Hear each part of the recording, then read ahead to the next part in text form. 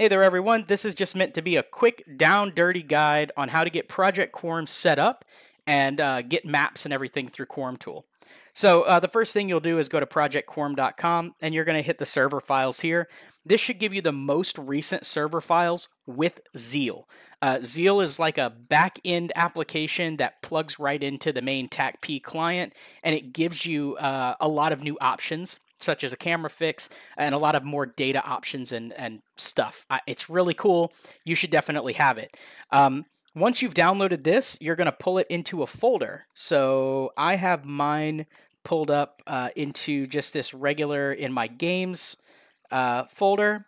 I have uh, Quarm and then I've got my TAKP client here. This is, should be the one that you see. Uh, and this little guy is going to have a download for all of the most up-to-date Zeal uh, usages. If you want to, you can go here to uh, I am Clint Zeal releases, and you can download the most recent updates. Uh, you will have to keep Zeal up to date. You can monitor the deal, Zeal discussions channel in the Discord, um, which I guess I can show if we uh, go here, Zeal discussions. You can just monitor this channel for all sorts of uh, updates and, and communications and stuff about Zeal. Um, so in addition to that, once we have this going, uh, I could go into the TAKP client. I could go in here and hit E, go down to EQ, and find my EQ game, and I can just run this. Uh, if you run that, it's going to pull up the launcher. You go ahead and log in, and you can play. Uh, but you don't have any additional tools, right? There's no map in the in the Quarm client, uh, and there's a lot of other cool things as well uh, that you can get using Quarm Tool. So Quarm Tool is gonna this is gonna be the one EJ Wellman. Um, you can also find that inside of the where is it? Open source discussion. Uh, a lot of information about Quarm Tool is going to be in here. Um, so you'll just download, you know, the Quarm tool from here, quarmtool.zip. And when you do that, uh, you can create uh, a, a, separate folder. So don't put it inside your TAKP folder. Put it somewhere completely different. Uh, and you're going to want to create something basically like this. Uh, so this will be, you'll have the quarmtool.exe and a couple of other little files. Uh, whenever you get that, just go ahead and double click on Quarm Tool. And it's going to load up. So with Quarm Tool, uh, you don't have to worry about things like logging in with your character or anything like that. It reads your log file, uh, so you will have to enable your log file. Um, but you have lots of different tools that you can use. So for example here, um, if I go and look at my Quarm Tool settings, which I can do by right-clicking and hit Settings, um, you can see I've got my character here. Uh, I did go ahead and put the path to that uh, TAKP folder. Um, and then one thing to make sure is to enable Zeal. Uh, and also, if you want the map, you need to make sure that you update via Zeal. This will ensure that Zeal uh, is feeding data into Quarm Tool, and it's also going to ensure that like being able to update your map is going to happen automatically.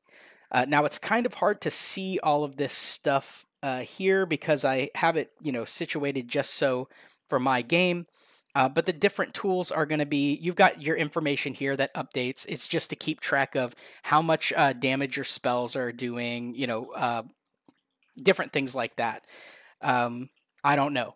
Is, is I think that's what it does. I'm just making that up. You can also modify your font size here if you want it to be bigger or smaller, and you can lock a an outlay, uh, an overlay on a certain character.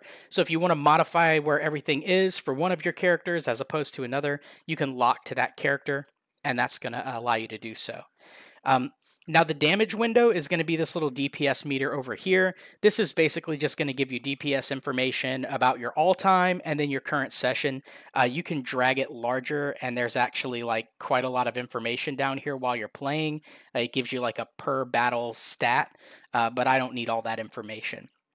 You also have the mob window. So the mob window is really cool. It's kind of hard to to visualize what it does here, uh, but it would normally be much larger and it will give you the name, the race, the level, what class. Uh, every single monster is in the game. So all you have to do is click on that monster and you'll get a bunch of really cool stats about them. This is really good for soloing and for grouping. You can see loot tables. Uh, you can even click on links and you can gain access to, you know, oh, I, I see this rare item. What is it? Click and it'll open the database and actually give you all the information. Or if you click on a character uh, or a mob type, it will actually pull up the database entry for that mob type, and you can do a little more research, like uh, knowing where they spawn, what zones they're in, things of that nature. Um, so next we have, and of course, if you're going to do that, make sure you're updating via Zeal. This is going to uh, basically pull data for the zone for you so that all of this mob information can come through. Uh, with the triggers, there's a lot of pre-built ones. So this is stuff like, for example, if your root breaks, you're going to get a on-screen uh, element, and you're also going to get um, an audio cue, depending on what you select here. Um, and there are lots of uh, lots of them here. This actually comes up through this little red dot. So uh, when you see that little red dot on your screen, you can modify the size, you can modify the location. Um, but this is a really cool uh, option here. I have a lot of custom triggers set up. Um, this is basically, you know, as you are playing, uh, it's a replacement for stuff like Nag or Gina uh, or any other parser tools that you might use for EQ. And you can set up tons of different custom triggers, uh, all of them with both text based and audio. Um, if you want those triggers to be on top or you want to be able to see them, obviously you would want to select this little always stay on top. But this element does not get in the way. It's actually incredibly well uh, hidden. So I would say these the custom triggers are exceptional and you should certainly use them. As far as timers, this is where the self and enemy come in right here. Uh, so I have a couple of timers here, and one of them is also my friends. This allows me to um, take advantage of things like so with the enemy one, I want to see spells, and I want the system to guess what spells are being cast but only on NPCs. So this allows me to see, you know, with my Warlock, when I put a dot on an enemy, I can see when that dot gets put on the enemy, and I can see how much longer it lasts, as long as it lasts the full duration. Uh, same thing with friends, and same things with self. It allows me to better keep track of when I need to rebuff, uh, when I need to recast things like fear or dots and it's just really really good. Um, obviously you know sometimes like a character or a, mob will die and you'll still have some lingering effects um, but you can very easily clear those with a little clear button that will pop up inside that screen and then with the map itself, um, you know, you can choose to have it up top. The kill timers is going to give you, uh, when you kill a creature, how long it's going to take for that creature to respawn. Uh, be able to actually visibly track other players who are using nparse or uh, or Quarm Tool. Um, these little labels, uh, every map in Quarm Tool is labeled. Uh, I can probably show you kind of. Um, so if you look here, you can see like I've got all the main elements, you know, um, but if I go to put the small labels on and I refresh this, probably by closing it, going down here, going to map and turning it back on, um, that is going to show me all of these little things. So I can see all of the vendors, I can see special spawns.